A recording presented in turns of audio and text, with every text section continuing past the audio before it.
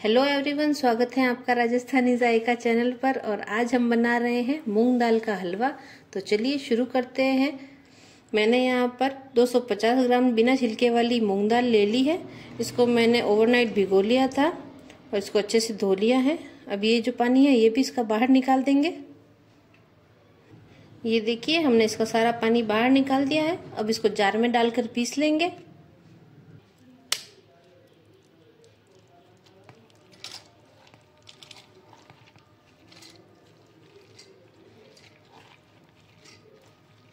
देखिए, हमने दाल को पीस लिया है।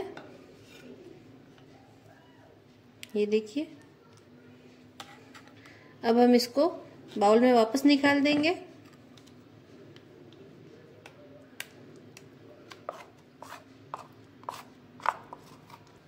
ये देखिए, हमने इसको बाउल में निकाल दिया है।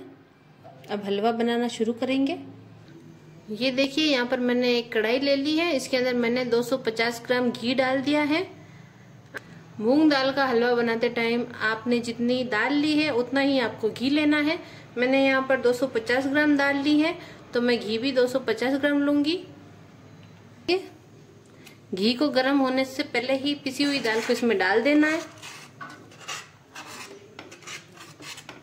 इसको चलाते रहे।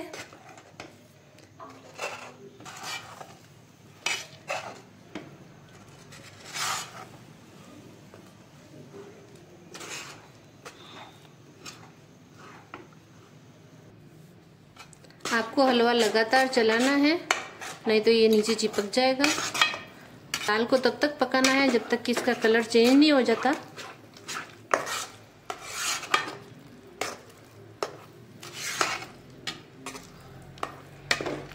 ये देखिए, हमारा घी जो है, वो अब इसमें दिखाई नहीं दे रहा है। घी वापस बाहर ना आ जाए तब तक इसको पकाना है और लगातार चलाते रहना है। आपको दाल को लगातार चलाते रहना है।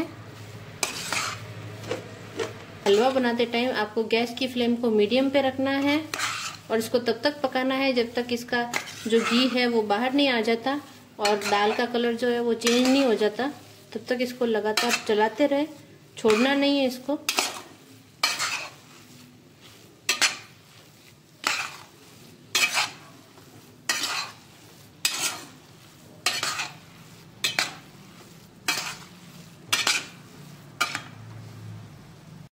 ये देखिए, मूंग की दाल हमारी अच्छे से भुन गई है। ये साइड में से घी भी निकलने लगा है। और ये देखिए, इसका कलर भी चेंज हो गया है।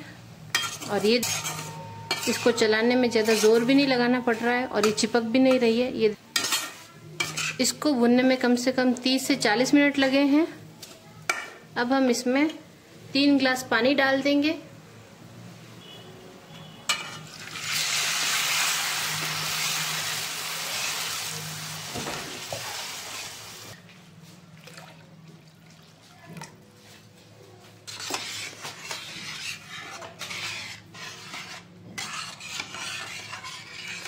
मैंने इसमें तीन ग्लास के करीब पानी डाल दिया है। अब इसको लगातार चलाना है। ये देखिए, हमारा हलवा गाढ़ा होने लगा है और उछल रहा है। गैस की फ्लेम को लो पर कर दें और इसको चलाते हुए पकाएँ।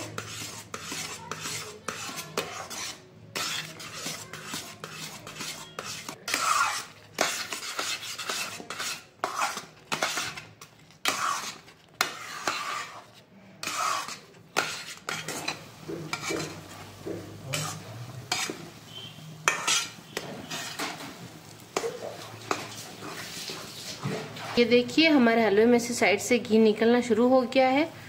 और ये जो, और ये देखिए, हमारा जो हलवा है, वो स्पैचुला के बिल्कुल भी नहीं चिपक रहा है। यहाँ पर मैंने थोड़ी सी बादाम ली है, इसको मैंने भिगो कर रख लिया था और इसके छिलके भी उतार लिए हैं। ये डाल देंगे।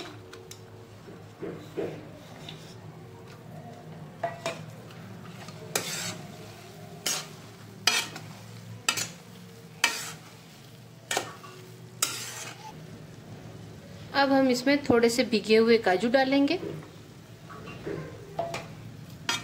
और अच्छे से मिला लेंगे।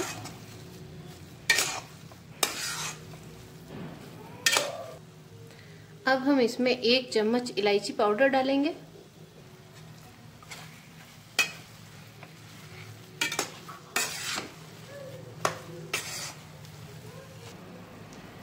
अब मैं इसमें दो कप शुगर डालूँगी।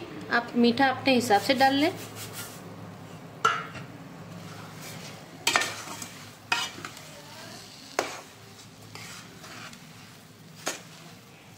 ये देखिए, चीनी डालते ही इसका थोड़ा कलर चेंज हो गया है। दस मिनट तक इसको और पकाएँगे, ताकि चीनी अच्छे से घुल जाए अंदर। और चीनी घुलने के साथ ही इसका कलर भी थोड़ा चेंज हो जाएगा और। चीनी के घुलते ही हमारे हलवे का कलर चेंज हो गया है। अब आखिर में हम इसमें ये भीगे हुए किशमिश डाल देंगे।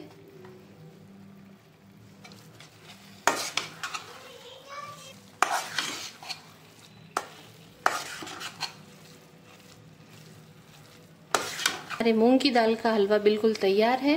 देखिए, तैयार है हमारा मूंग दाल हलवा। अगर आपको ये रेसिपी अच्छी लगी हो तो वीडियो को लाइक करें और चैनल को सब्सक्राइब करें।